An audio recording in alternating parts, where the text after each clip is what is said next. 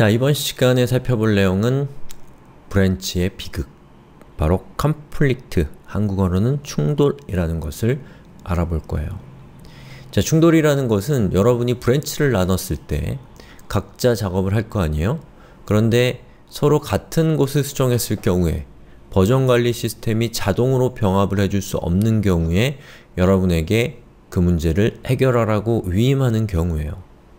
굉장히 심각한 경우가 있고 하지만 자주 일어나고 그 여러분들을 엄청 짜증나게 할 만한 상황입니다. 자, 컨플릭트가 무엇이고 컨플릭트를 어떻게 해결해야 되고 또 어떻게 하면 좀 더 편리하게 충돌을 해결할 수 있고 그리고 예방적인 차원에서 컨플릭트가 덜 일어나게 할 수 있는가 이런 내용들을 우리가 살펴볼 겁니다. 자, 우선 어, 이전에 우리가 살펴본 마스터와 실험은 코드를 보시면 알겠지만 하나의 파일 안에서 동일한 파일 안에서 실험은 위쪽에 있는 내용을 수정했고 마스터는 아래쪽에 있는 내용을 수정했습니다. 자, 이런 경우에 git은 이 두 개의 수정사항들이 서로 그냥 병합하면 되는 거라고 판단합니다. 그래서 자동으로 여러분들 대신에 확 결합을 시켜버려요. 자 그런데 만약에 두 개의 branch가 같은 부분을 수정했다. 해봅시다. 자 우선 현재 저는 마스터 branch를 만들었고요. 이 실험, 브레, 실험 branch는 성공적으로 이 뭐죠? 결합이 끝났어요. 그러면 지우셔도 돼요. 오른쪽 클릭하고 삭제하셔도 되고 내비두셔도 상관없습니다. 자, 저는 branch를 하나 더 만들겠습니다. 복습 차원에서 자, 이름은 실험2로 하겠습니다. 자, 이렇게 아무 의미도 없는 그런 이름을 쓰진 않으시겠죠? 우리는 지금 수업, 수업을 하고 있잖아요. 자, 이렇게 해서 제가 실험2라는 branch를 만들었고요. 실험2라는 이 branch는 자, 여기 merge branch 실험이라고 하는 여기서 만들어진 branch입니다. 자, 현재 마스터도 merge branch 실험에 있고 실험2라는 branch도 여기에 머물러 있는 상태라는 것이죠. 자, 현재 선택되어 있는 것이 실험 2 branch죠. 자, 실험 2 branch에서 제가 여기에 내용을 추가해 보겠습니다.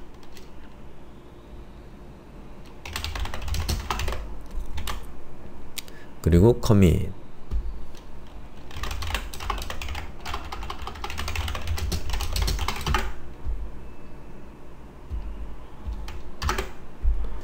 자, 그렇게 했더니 보시는 것처럼 실험 branch는 여기 공통의 branch, 공통의 버전에서 한 칸 올라갔죠. branch를 추가했다. 자, 그 다음에 이번에는 마스터 branch로 이동을 합니다. 그리고 마스터 branch에서 내용을 수정을 할 건데 자, 그리고 이번엔 영어로 써요. 이렇게 되면 어떻게 되나요? 실험 2 branch에서 이 부분에다가 제가 한글로 브랜치라고 적었습니다.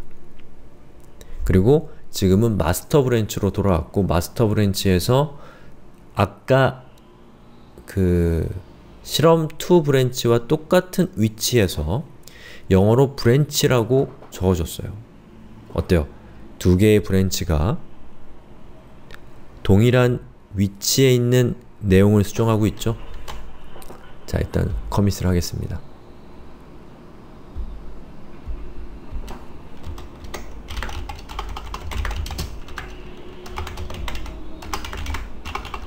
영어니까 영어로 작성을 했습니다. 자, 그리고 이제 실험 2의 작업이 끝나서 마스터 브랜치로 병합을 해야 돼요. 자, 그런 경우에는 어떻게 해야 되나요? 가져오려고 하는 쪽으로 이동하라고 했죠? 현재 master branch가 선택이 되어 있으니까 할 건 없습니다. 그 다음에 여러분이 병합하려고 하는 것은 실험 2 branch를 master branch로 옮겨오고 싶은 것이기 때문에 실험 2 branch를 오른쪽 클릭합니다. 그리고 머지 실험 2를 into current branch, 즉 master branch로 병합한다 라는 뜻의 명령을 한번 실행해 봅시다. 자, OK 눌렀어요. 그랬더니 경고창이 뜨면서 머지 컴플릭츠라고 하는 메시지가 뜨네요. 자, 한국어로 어, 병합하는 과정에서 컴플릭트가 발생했다라는 뜻입니다. 자, 클로즈를 눌러보겠습니다. 왜 충돌이 발생했을까요? 두 개의 서로 다른 branch가 하나의 파일 안에서 같은 위치의 내용을 수정했기 때문에 이 git의 입장에서는 누구의 코드를 적용해야 될지 알 수가 없는 거죠. 그런 경우에 git은 conflict를 내버리고 그 문제를 사람이 처리하도록 위임합니다. 자, 한번 여기 있는 우리의 소스 코드를 한번 살펴보죠.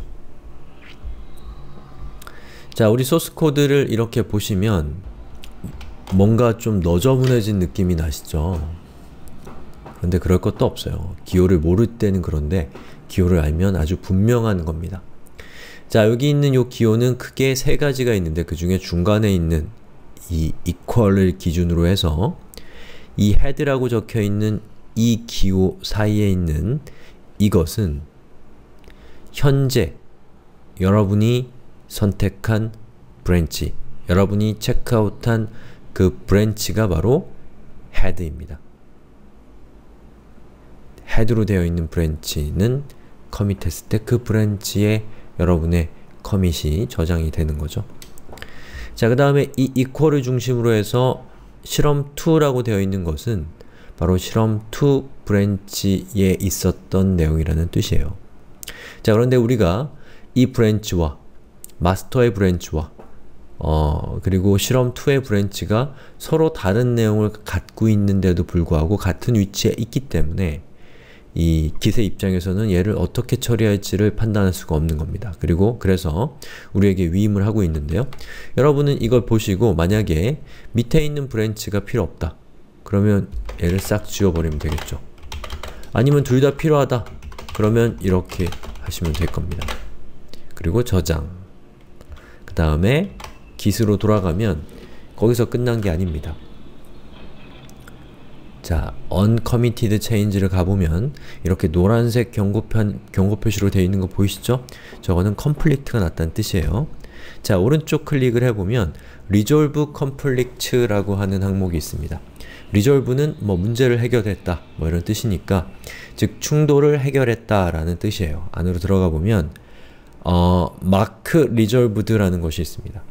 자, mark resolved라는 것은 지금 제가 서브라임 텍스트에서 파일을 수정했죠? 충돌이 났던 상황을 다 정리를 한 겁니다. 그러면 내가 충돌을 해결했다라는 사실을 어, 기색에 알려줄 필요가 있어요. 그때 사용하는 것이 바로 mark resolved라는 거고요. 이걸 여러분이 클릭하시면 git이 어, 기색에 음, 충돌을 해결했다라는 것을 알려주는 셈이 되는 겁니다. 자, OK를 누르면 보시는 것처럼 여기 있는 버전의 변화가 생길 거예요. 아, 버전이 아니라 여기 있는 요거. 아까는 이 밑에 쪽에 느낌표 그리고 컴플릭트라고 있었는데 제가 어, 충돌을 해결하니까 충돌을 해결하는 것과 동시에 staged file이라고 하는 이 부분으로 인덱스로 index.html 파일이 예, 들어온 것을 볼 수가 있죠. 자, 이 상태에서 제가 commit 버튼을 눌러보겠습니다. 자, 그랬더니 어떻게 되나요? 제가 입력하지도 않은 commit 로그들이 이렇게 적혀 있습니다. 자, 그건 왜 그러냐면 직전에 우리한테 무슨 일이 있었나요? 우리가 두 개의 branch를 병합했습니다. 그리고 충돌이 났어요.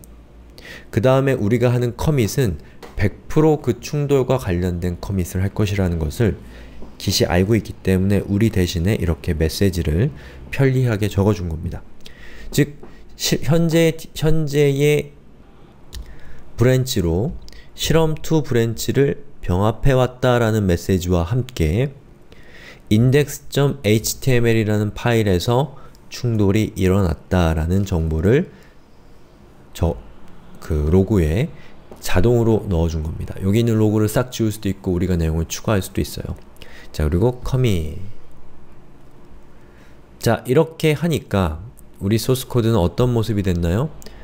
서로 각각 다른 branch에서 작업했던 이 영어로 된 branch와 한국어로 된 branch가 충돌을 했었고 그 충돌을 우리가 어, 이 파일을 편집하는 걸 통해서 해결한 것이죠. 자 이렇게 해서 충돌 그리고 충돌을 해결하는 방법에 대해서 지금까지 살펴봤습니다.